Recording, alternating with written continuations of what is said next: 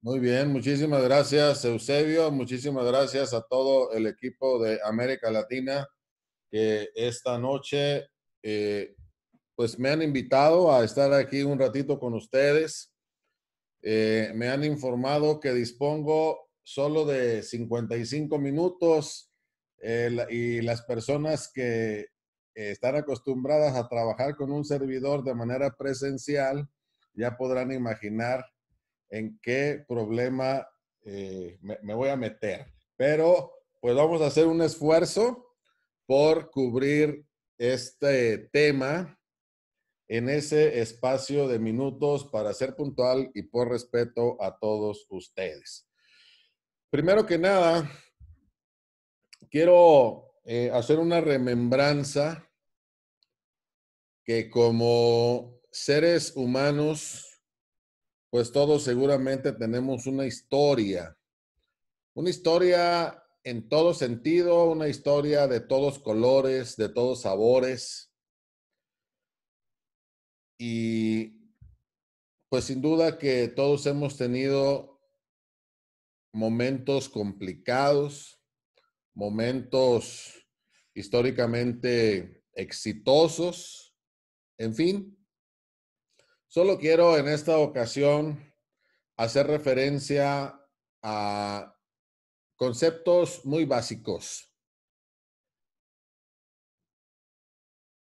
Para quienes me conocen y para los que no también, bueno, mi nombre es Oscar Hernández, nacido en Guadalajara, México, y cuando han escuchado nuestra historia, normalmente la escuchan de 30 años para acá.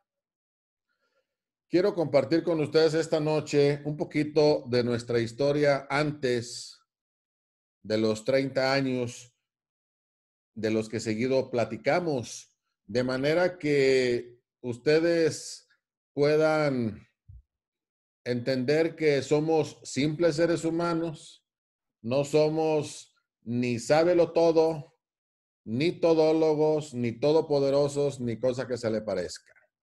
Somos simples seres humanos, que también tuvimos una infancia, una niñez, una adolescencia, que también nos gustó mucho en aquellos años jugar fútbol, al igual que la mayoría de los latinos, que también nos gustó muchísimo para aquellas, aquellos tiempos. Jugar eh, canicas, no sé si en el resto de América Latina se llama igual, pero en México son canicas.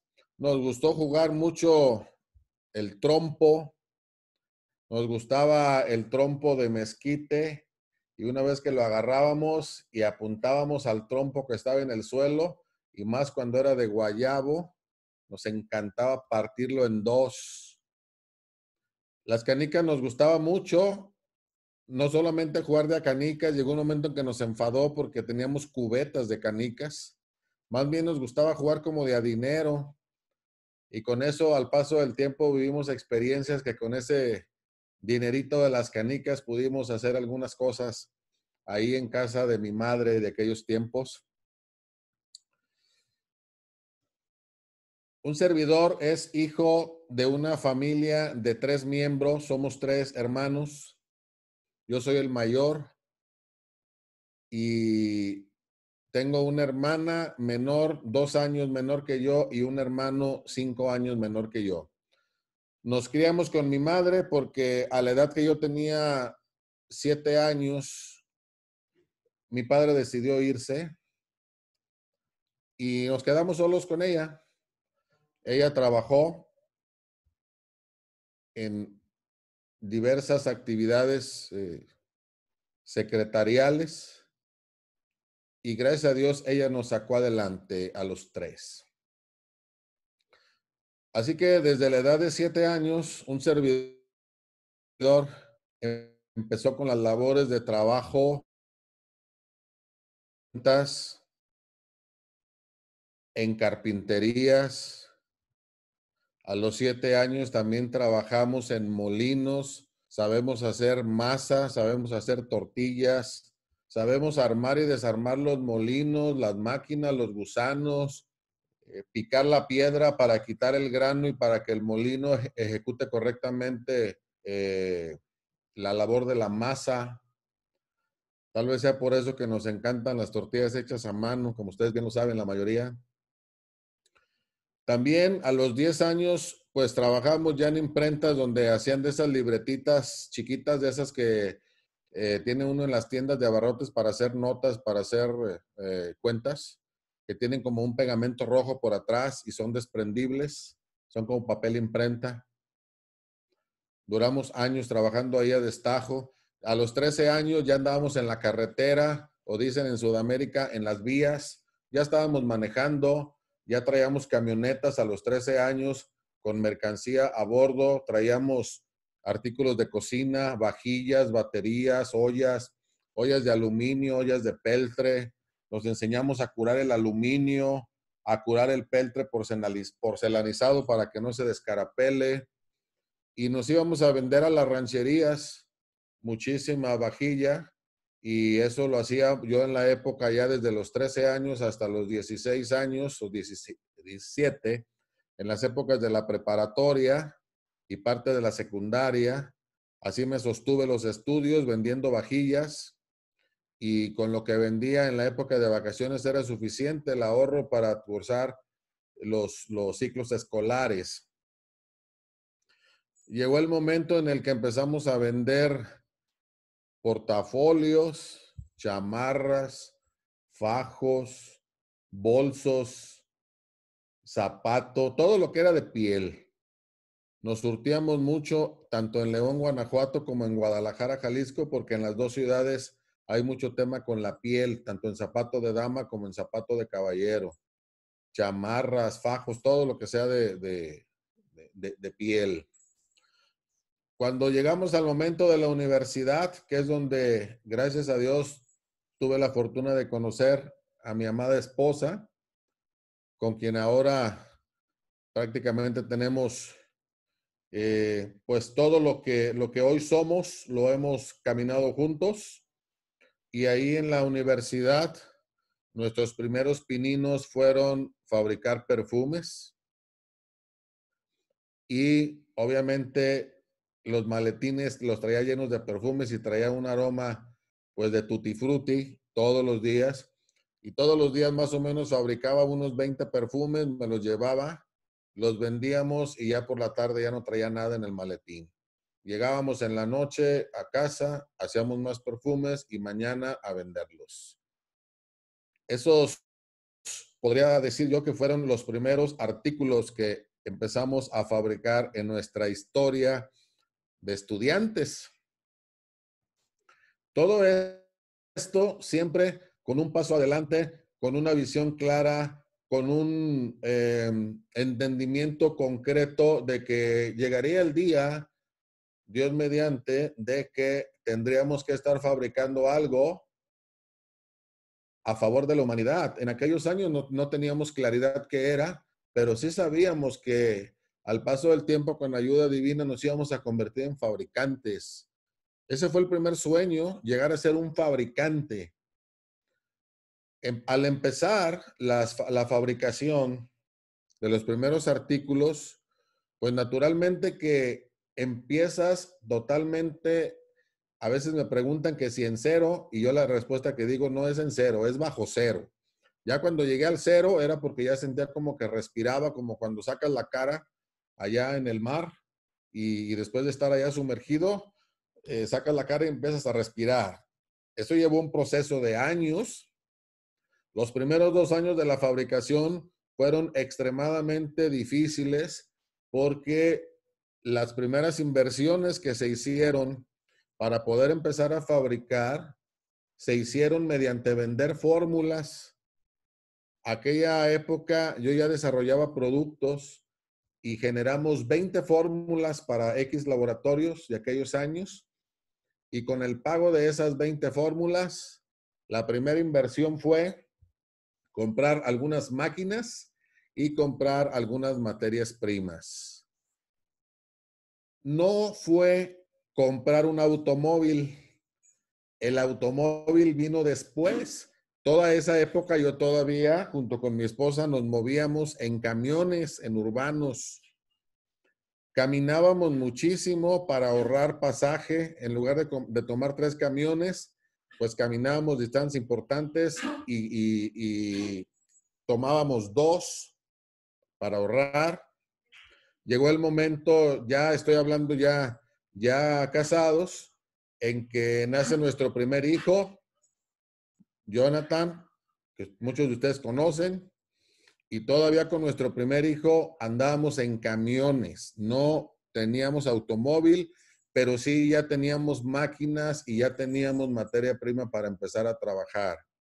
Porque sabíamos que esas máquinas o esas materias primas al paso del tiempo nos iban a empezar a generar tal vez lo de una primera casita que tampoco teníamos o lo de un primer automóvil para movernos y era muy complicado con él porque era era llenito, era de buen comer, era pesadito y andábamos así en los camiones juntos.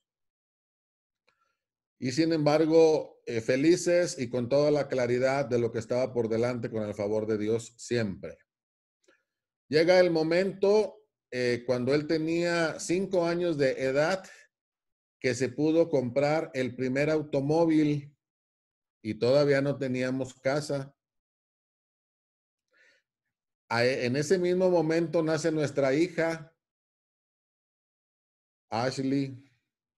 Ellos son, eh, se llevan cinco años de diferencia.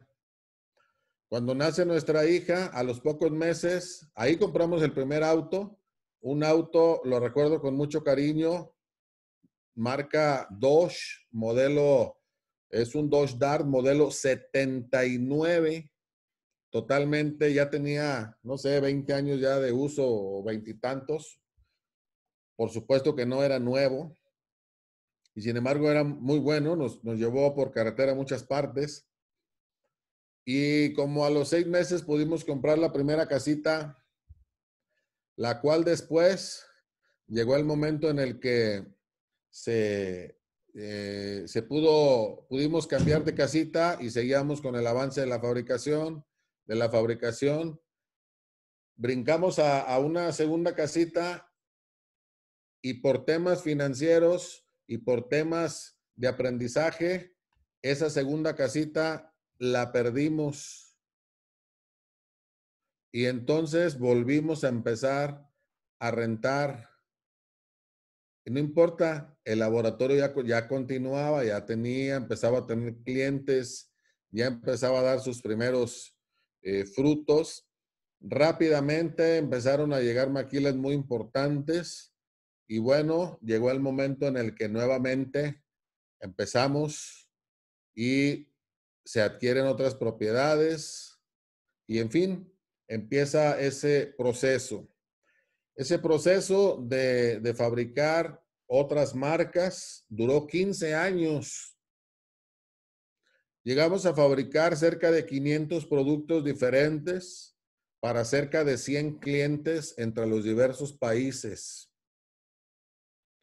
De esos 500 productos, seguramente muchos de esos productos ustedes los llegaron a conocer o tal vez a comercializar, sin decir marcas, tanto en redes de mercadeo como en el mercado tradicional. Algunos los llegaron a ver en televisión, otros los llegaron a ver en el mercado norteamericano, en fin.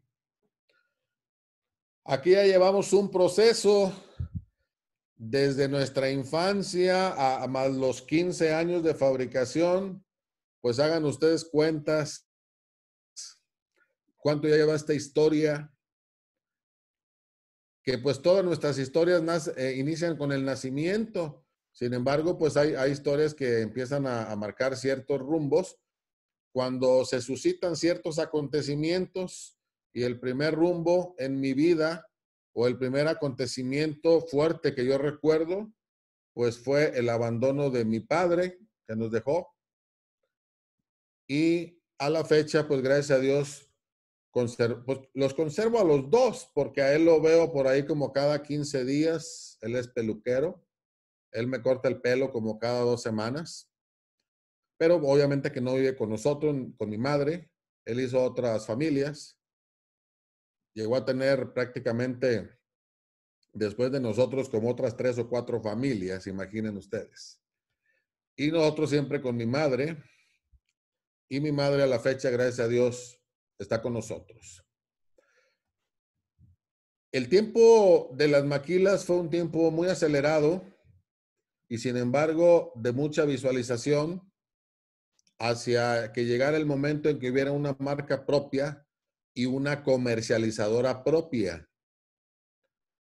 Se presentan, como ya dije, en la universidad, conozco a mi esposa, tenemos dos hijos, hoy los dos ya están casados, ya somos abuelos, ya tenemos un primer nietecito varoncito por parte de nuestra hija de dos años y cuatro meses, que precisamente nuestro nietecito nació un 9 de marzo del 2018 y Genoxidil nació un 9 de abril del 2018, exactamente un mes después. Con la llegada de nuestro nietecito llegó Genoxidil después de un, más de un año de desarrollo. Sin embargo, eh, regresándome un poquito a los 15 años de Maquila, pues nos ubicamos en el año 2006 y ahí otro acontecimiento muy fuerte en nuestra vida personal que también marcó el rumbo hacia dejar las maquilas prácticamente al 80-90%, nomás nos quedamos con un 5 o un 10 de los clientes y empezamos a desarrollar la marca propia. En ese año tuvimos la fortuna de conocer al doctor Padilla y a Miguel de Santiago el mismo año. Y curiosamente esto porque en la infancia tal vez nos hubiéramos conocido y resultó que no. La mamá del doctor y mi madre todavía viven a dos cuadras de diferencia y nunca nos conocimos él y yo en la infancia ni en el fútbol. Y con Miguel de Santiago vive como a unas 10 cuadras y tampoco lo conocimos. Hasta el 2006, cuando empezó NBN, este acontecimiento fuerte lo tuvimos en enero del 2006. En febrero, marzo conocimos al doctor, más o menos en abril o mayo a Miguel.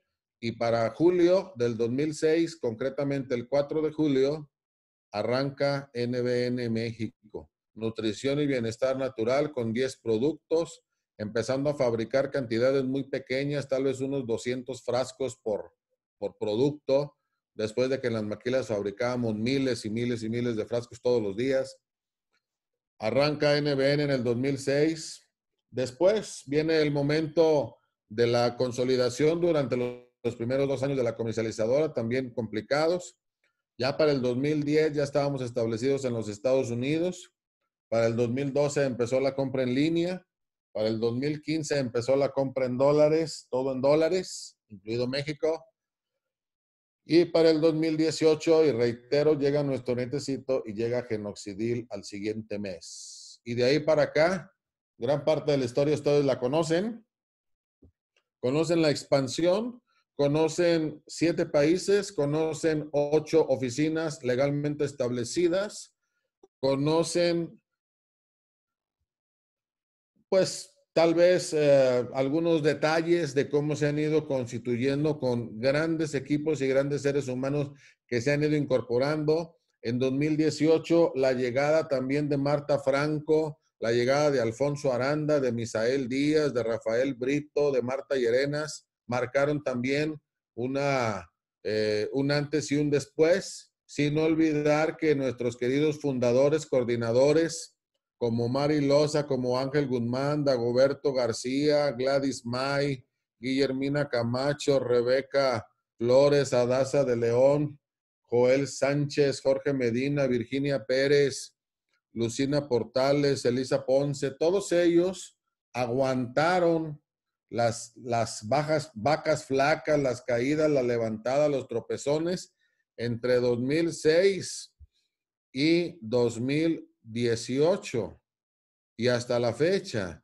Ellos tienen los 14 años de vida que tiene NBN, son los mismos 14 años de vida que tenemos caminando juntos con estos grandes seres humanos leales y a prueba de todo, al grado de que en algunas épocas también de dificultades financieras, no solamente entregaron su vida, su liderazgo y su, su todo, todo su ser, sino que incluso aportaron recursos para que la marca NBN continuara. Hoy estoy seguro que algunos de ustedes, al paso del tiempo y Dios mediante todo lo que suceda, pues estarán dispuestos a caminar juntos independientemente de la, del nivel de abundancia o de recursos que haya, porque el principal objetivo siempre seguirá, ser, siempre seguirá siendo el ayudar a la gente hasta donde la mano nos alcance en diversas facetas de sus vidas, en sus áreas. Y cuando en aquellas épocas el, el, tema financiero se complicó, pues naturalmente que algunas gentes se fueron. Y qué maravilla eso, porque te das cuenta con quién cuentas realmente y, y, y de qué está hecho cada quien. Y te das cuenta si el tema de la atracción para estar aquí era el dinero o era realmente el ser humano. Y esas situaciones te permiten filtrar y diferenciar las características y los motivos del por qué está cada quien aquí. Y en este proceso también hemos tenido la fortuna de conocer a diversas eh, personas que están acostumbradas a vivir los procesos, que entienden claramente cómo funcionan las leyes de los procesos, cosa muy diferente, por cierto, que eh, entre la cultura de un latino como nosotros, a un anglosajón o a un oriental ellos parece como que en la sangre llevan implícita la ley del proceso, parece que entienden ya como por genética que nada va a suceder en, en, poquito tiempo. El latino, como nosotros, quiere sembrar hoy y cosechar ayer. Y si eso no sale la plantita, eh, lo que sembré hoy y lo quiero cosechar ayer, y si eso no está bien, le echo la culpa a alguien voy a renegar o voy a claudicar, simplemente voy a abandonar, como dicen, voy a abandonar el barco, porque al latino no le gusta el proceso. Le enfada, le cansa, lo detesta, no sabe vivir con él. Yo espero, Dios mediante, que esta generación que estamos cursando en esta época, por primera vez en la historia de los latinos, tengamos una gran, gran eh, familia, una gran camada, dirían en ciertos sectores del deporte, generacional de personas latinas que entendamos y sepamos y estemos dispuestos a vivir por completo la ley del proceso. Una ley que cualquier japonés te puede decir que nada va a suceder antes de cinco años, que nada va a suceder a los diez años, porque aquella plantita apenas empieza como que el tallito a sobrevivir tiene que llegar a echar raíces y hasta los 20 años va a dar fruto. Y hasta que dé fruto, le voy a arrancar una pera, una manzana a ese árbol. El latino todavía no tiene fruta el árbol y bueno, abandonó el tallito, lo dejó de regar, como aquel bambú japonés que ustedes conocen mucho esa historia y a veces dicen hasta de broma, hasta en eso se mostró la sabiduría del creador, de Dios. ¿Cómo? Pues que la semilla del bambú la mandó a Japón y por eso se llama bambú japonés, porque si la semilla lo hubiera mandado acá a México, acá a Colombia, Ecuador, pues a lo mejor no, la no conoceríamos el bambú, porque aquí no vamos a pasarnos echándole agua a la tierrita seis años, porque va a venir otro que nos va a juzgar de loco y nos va a decir a dónde le está usted echando agua. ¿Está usted bien de la cabeza? No pierda su tiempo. Pero el japonés sí. Este le echa agüita a la tierra, la acaricia, la mima, le dice piropos, le canta, le pone música y a los seis años ya sabe lo que va a suceder. Pues por eso dicen que qué bueno, hasta en eso Dios mostró sabiduría, que no nos mandó la semilla para acá. Bueno, parece, repito, como que la genética en los orientales ya la traen ahí en la sangre y ellos saben que para crear marcas transnacionales poderosas, fuertes, musculosas financieramente, van a pasar décadas. Ellos tienen la filosofía de empresario pobre, empresa rica, y nosotros al revés, pero ni una ni otra, porque los equipos que se conforman dentro de los latinos son como de caducidad corta. No diría de mecha corta porque mecha corta significa explosivo y ahí en Sudamérica significa otra cosa. Más bien diría de caducidad corta. O sea, no podemos estar desarrollando un negocio, cultivando una planta, cultivando una familia, desarrollando algo, porque queremos que los resultados sean inmediatos. Y cuando te pones a estudiar a esas culturas y te das cuenta que ellos, pues simplemente son, eh, son seres humanos iguales que nosotros, pero con raciocinios, incluso yo diría de sentido común, como que más pulidos que nosotros. Y esto, pues mira que una cosa es saberlo y ahora yo te diría, ¿y tú qué haces con eso que ya sabes? O sea, si tú ya sabes que el, el oriental es de esa manera y tú ya sabes que él está en lo correcto, ¿Qué te impide a ti procesar tu vida, tus operaciones, tus negocios, tus planes, tus metas, tus objetivos? De igual manera, tus sueños. ¿Qué te falta para, para inyectarles persistencia? ¿Qué te falta para ser enfocado? Porque también allá son muy, muy hábiles para dedicarse a una actividad y desarrollarla a su máximo esplendor. Aquí queremos ser todólogos todos los días empezamos algo y nunca terminamos nada. Y no permitimos que consolide. Yo he escuchado expresiones de líderes que dicen, voy a desarrollar este negocio dos años. Si en dos años no me da lo que yo busco, pues ya, cambio, eso no funcionó. Pues eh, quiero decirles que esos, esos, esas frases que he escuchado, pues naturalmente que no son de líderes japoneses, no son líderes coreanos, no son líderes indios, eh, no son líderes chinos, son líderes latinoamericanos, tristemente. Y esto que estoy diciendo, pues no es ninguna novedad. No estamos descubriendo América otra vez, no estamos descubriendo el hilo negro, son simples recordatorios, pero que cuando los vuelves a escuchar, pues esperas tú que quien te está eh, eh, escuchando, quien está poniendo atención a esto, pues como que le caiga chile a los ojos, como que para que los abras, como para que entiendas que tú también puedes hacer las cosas. He escuchado en repetidas ocasiones que este plan de negocios ha sido diseñado para latinos. Pues yo espero que los resultados, con la ayuda de Dios y de ustedes, realmente le podamos mostrar al mundo que así es. Pero primero hay que mostrarnos a nosotros mismos, a nuestras familias, porque ellas son nuestra razón de ser.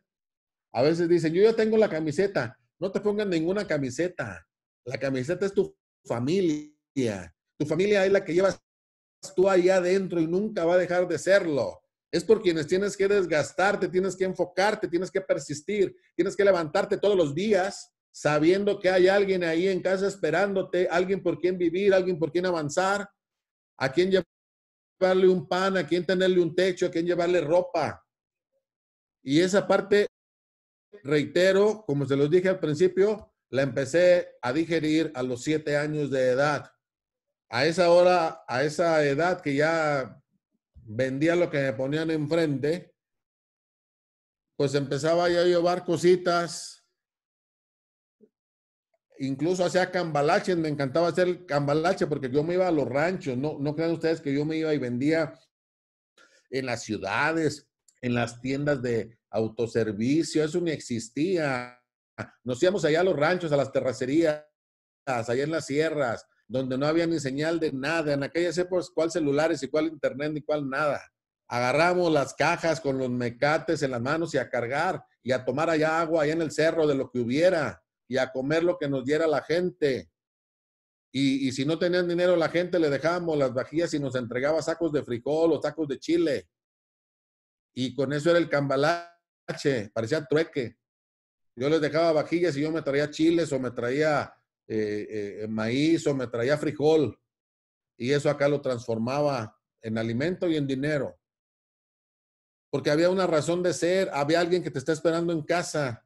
Eso es lo que uno todos los días, cada vez que sales, cada vez que escribes, cada vez que implementas algo, hay, hay algo que te debe de inyectar eso. Hay algo que debe ser tu gasolina del motor. Hay algo que debe de estar en las venas, hirviéndote todos los días para que te recuerde cuál es tu razón de ser. Y cuando esa razón de ser implícitamente se encuentra el término ayudar, pues quiero anticiparte que va a ser todo exitoso. Dios mediante, por el camino que Él nos marque. Nunca tengas en la mente ni en el corazón utilizar a nadie, ni el amor al dinero, porque el día que te vayas por esa ruta, vas a explotar y vas a tronar como garbanzo y te vas a perder completamente en el mapa.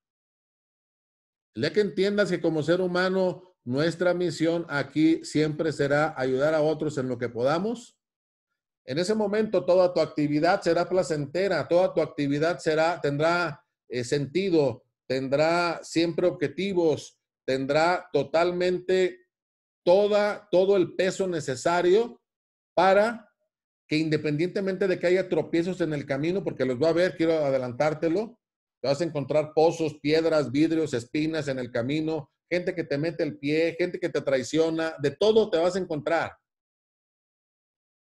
Pues el objetivo, la meta siempre debe estar más fuerte que el obstáculo.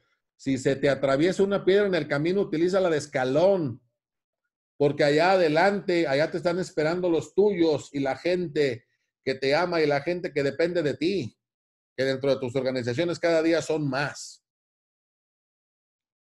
Eso es realmente la ley del proceso. La ley del proceso que reitero, no es un don que el mundo latino tenga o tengamos. Sin embargo, es una virtud, es una ley y es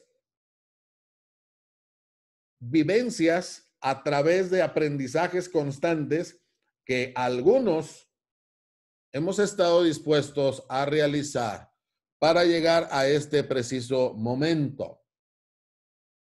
Y estoy seguro que cada uno de ustedes tiene sus historias.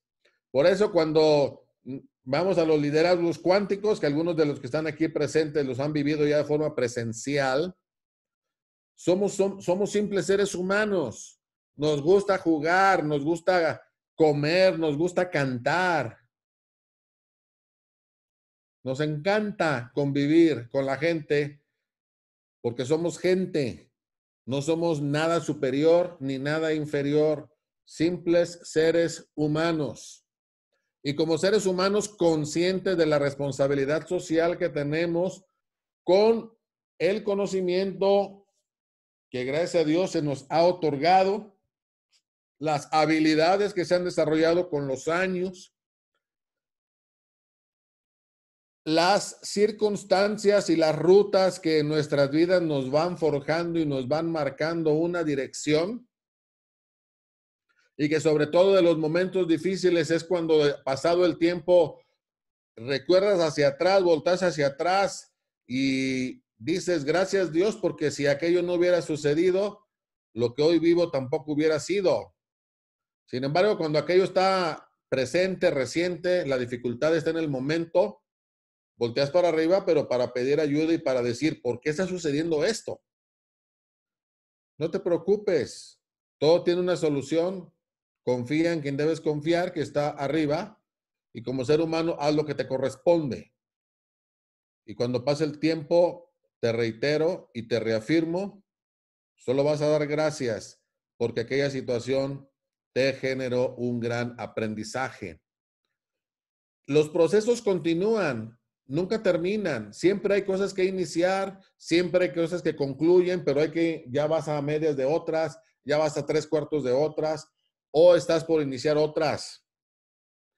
Esta noche queremos conversar muy brevemente con ustedes sobre otra ley que me encanta porque creo que este es el momento. La ley del crecimiento explosivo, cuando tú la analizas y, te autocalificas, te haces, te haces un autoexamen honesto, un autoexamen transparente, imparcial, pues tú mismo te vas a dar cuenta en cuanto a esta ley, en dónde estás o en dónde estamos. ¿Qué parte del proceso de todo lo que se suscita en las grandes marcas a nivel mundial, qué parte de ese proceso estamos viviendo? Pues mira, quiero recordarte algo porque esta noche no te voy a enseñar nada. Tú sabes muchísimo. Y tú sabes que nunca va a ser lo mismo dirigir seguidores que dirigir líderes. Por supuesto que nunca va a ser lo mismo en ninguna circunstancia y bajo ningún contexto. Ni por la metodología para dirigir a cada uno de ellos, y mucho menos por los resultados que te van a generar ellos. Pero entendiendo que esto es una ley, nuevamente es una ley, yo te aseguro que si vives la ley del proceso de los 20 años, de los cuales nosotros ya llevamos 30, como dijimos, tardamos 20 años para salir de México y nos fuimos a Estados Unidos. Y en Estados Unidos ya tenemos 10 más 20, 30. Bueno, pues al, al, año 30 se nos ha suscitado la apertura de América Latina y ya en proceso de retomar la documentación para Europa. Bueno, pues Creemos que nos encontramos en este preciso momento en la cronología de nuestra historia. Vean esto.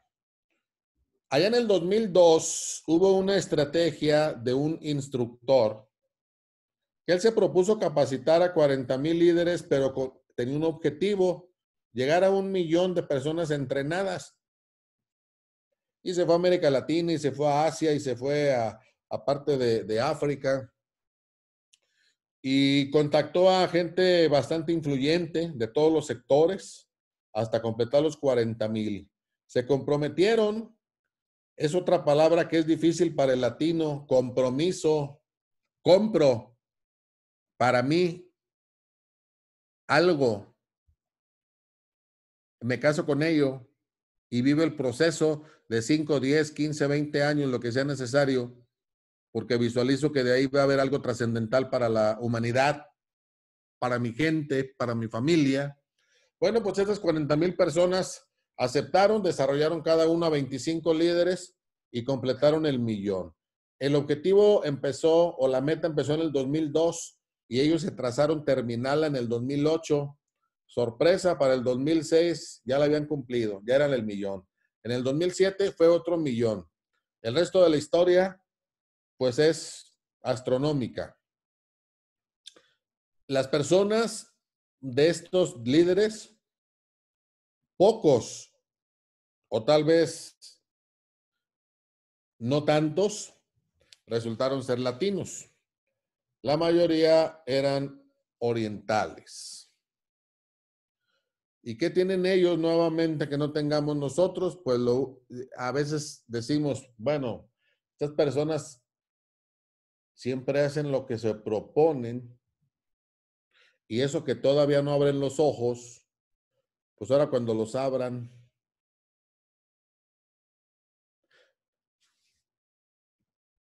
y sin embargo hay muchas, muchas, muchas virtudes que el mundo latino tiene. Por eso es que nuestro enfoque para, para la diferencia entre a quienes desarrollamos o a quienes provocamos que nos sigan y en qué invertimos nuestro tiempo, pues tal vez ahí sea la diferencia. Allá en aquel lado y en, ciertos sectores anglosajones son muy fríos, decimos los latinos. Acá somos muy cálidos, sí, nomás que también nos gusta mucho perder el tiempo. Allá no pierden el tiempo y cuando se los haces perder se molestan. Y si les haces perder el tiempo ya no te dan una segunda cita. Lo digo por experiencia. Tengo 10 años operando en los Estados Unidos, con muchísima gente americana para todos los temas documentales. Los líderes que atraen seguidores son esas personas que necesitan que los necesiten. Parece trabalenguas. A mí me encanta que me necesiten. Sí, que me hablen para que les haga sus pedidos, que me hablen porque yo debo tener el control de sus usuarios, sus contraseñas, que me Es más, yo voy a poner mi correo electrónico para todos ellos, que todo me llegue a mí. Yo les ayudo. Yo soy el que sabe, sabe hacer los cierres. Me encantan el día de cierre porque me abrumo en el teléfono y me abruman los correos, los chats, los WhatsApp, todo, porque me necesitan. Soy su líder. Quiero decirte que tú estás atrayendo seguidores. Y como seguidor, pues te van a cansar. Los líderes que desarrollan líderes no quieren que los necesiten, al revés, quieren soltar, quieren ser sucedidos, quieren delegar, quieren pasar la estafeta. Cuando hablas de la ley del crecimiento explosivo, debes de pensar en líderes, no en, no en seguidores. Y no significa que los seguidores sean malos, los ocupamos. Pero lo que sí significa es que aprende a distinguir en qué inviertes tu tiempo. Uno de los activos más valiosos y que una vez que se va, ya no regresa. Estos seguidores te van a generar un 20% de todos tus recursos, pero te van a quitar el 80% del tiempo. En cambio, los líderes te van a invertir solamente te van a pedir un 20% de tiempo. Ah, pero te van a producir el 80% de todo lo que eres. Los seguidores van a estar eh, oiga, es que fulano, es que se quiere cambiar de red, es que no puede comprar, es que no se puede conectar, es que la contraseña no es, es que no me puedo conectar al Zoom, es que ocupo, yo de tecnología no, yo estoy peleado con ella, eh, no puedo entrar a la página, eh, tiene una página muy obsoleta, puras debilidades. Te van a agotar, te van a cansar, te van a enfadar. ¿Y los líderes? Qué espectacular plan de negocios. Qué espectacular producto. Qué sistemas tan generosos. la ruta para el diamante platino está impresionante. Aprende a distinguirlos. ¿En qué se te enfocan esas personas que forman parte de tu organización? Y tú los vas a clasificar si son seguidores o son líderes. Los seguidores tratan a toda la gente igual y no se trata de diferenciarlos como ser humano, no estamos hablando de eso. Estamos hablando de asuntos de liderazgo. No puedes tratar de la misma manera a una persona que te produce el 20% con respecto a una que te produce el 80%. Si tú vas a un banco y tienes cuentas fuertes en el banco, te van a dictaminar como un cliente premier, un cliente select, un cliente premium. Tienes filas especiales, no haces filas largas o líneas largas. Es más, llegas directamente con los gerentes de las sucursales bancarias. Y los demás, a lo mejor te hacen mala cara todo el montón de gente que está haciendo ahorita filas, porque ahorita no dejan entrar al banco, te están formando en la calle, por lo que ya sabemos. Pero tú llegas y te metes. Oiga, ¿y este de qué privilegios goza? Pues nomás poquitos. Si le echan un ojo a sus cuentas bancarias, saquen deducciones. Es lo mismo en las organizaciones. A los líderes se les va a tratar como individuos, premios especiales, viajes especiales, atención especial. Hay que saber diferenciarlos y trátalos como lo que son. A los seguidores les encanta la pachanga, les encanta el relax, todo, todo a gusto. Y yo a mí también me encanta, no estoy diciendo eso que no me, que esté mal, pero una cosa es, pasan el tiempo, o pierden el tiempo o, la pasan a gusto, pero el líder no. El líder hace eso, pero invierte el tiempo. No es lo mismo pasar el tiempo que invertir el tiempo, completamente diferente. El líder lo invierte, el seguidor lo pasa, lo gasta, lo tira. El seguidor crece por adición, o sea, uno más uno, dos. El líder crece por multiplicación, el 1 más 1 no es 2, es 11. Pequeña diferencia para que los empiece a distinguir. Estos seguidores normalmente van a impactar a los que tocan, a los que están ahí pegadito a ellos, con los que ven, con los que viven, a los que hacen a los open, a los que van a, su, al hotel, a oficina, a, a los salones de eventos, al Zoom. El que no es seguidor, o sea, el líder, ese impacta hasta la gente que ni conoce. Lo esperan, lo buscan, lo escuchan. Dicen que cuando un líder habla, la gente escucha. Porque normalmente detrás de un líder hay mucho que aprenderle. Y más cuando hay tantos años detrás de sus espaldas, entre caídas y levantadas, entre fracasos y éxitos, entre alegrías y tristezas, entre de chile, mole y pozole, decimos en México, de todo. Eso te forja, eso te enseña, eso te hace aprender, eso te templa. Y eso hace que tus decisiones impacten a propios y a extraños, a los que te tocan y a los que no te tocan, aún más allá.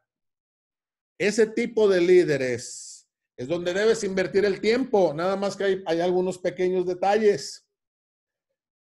Dirigir a líderes es muy complicado, no es imposible, es un desafío.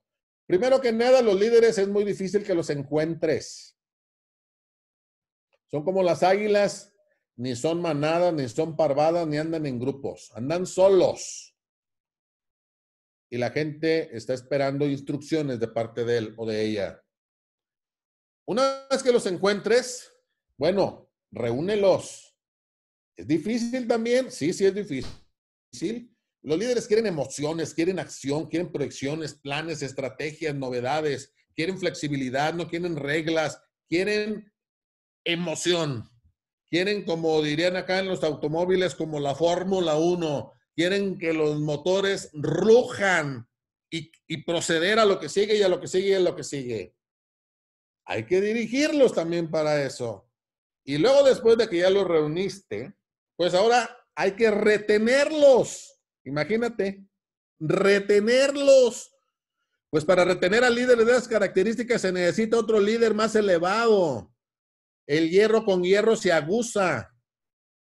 Y tu liderazgo tiene que ser siempre día con día y momento a momento superior a lo que tienes enfrente.